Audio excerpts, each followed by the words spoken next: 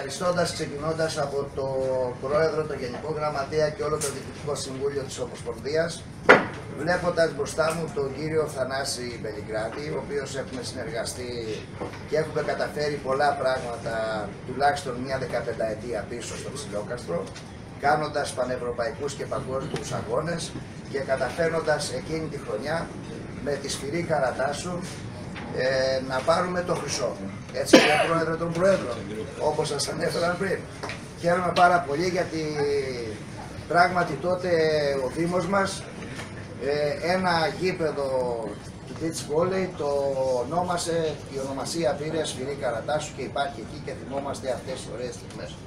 Έχοντας λοιπόν μια πολύ μεγάλη εμπειρία, βεβαίως χρειαζόμαστε και την βοήθεια όλων και της Ομοσπονδίας που την έχουμε, έχοντας τη μεγάλη χαρά να γνωρίσω τον κύριο Χαρβατζή, να γνωρίσω και τον Παρασκευόπουλο τον Αλέκο που τον θυμόμαστε από εκείνα τα ωραία χρόνια να συνεργαστούμε πάλι μαζί. Είμαστε ανοιχτοί, ξέρετε ότι ε, μπορούμε όλοι μαζί να κάνουμε πολύ περισσότερα και καλύτερα πράγματα.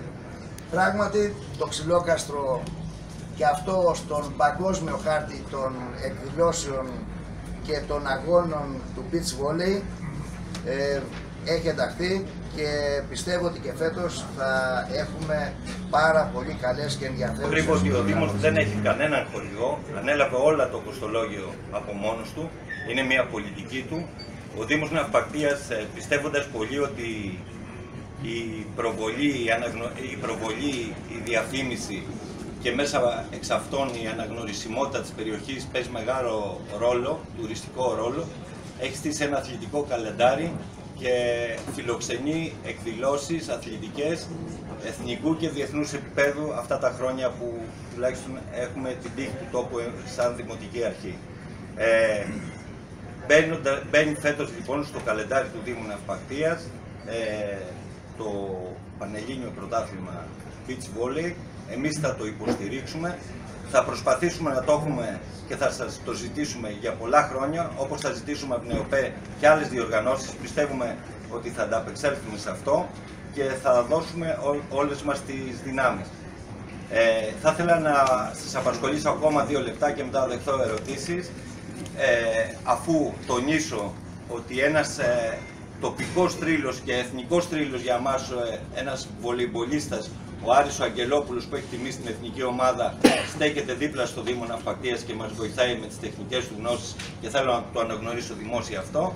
Θέλω να πω ότι ο Δήμος Ναυπακτίας από πέρυσι διοργανώνει μια διεθνή έκθεση εναλλακτικού τουρισμού, θεματικού τουρισμού, που, που συμμετέχουν δήμοι, περιφέρειες, αναπτυξιακές, επιμελητήρια και ε, ιδιωτικές επιχειρήσεις που δραστηριοποιούνται στο θεματικό τουρισμό ε, συμμετέχουν hosted buyers από όλη την Ευρώπη, ε, συμμετέχουν δημοσιογράφοι από όλη την Ευρώπη και αναδεικνύουμε αυτό που έχει κάθε γωνιά της Ελλάδας, το θέμα, το θεματικό τουρισμό.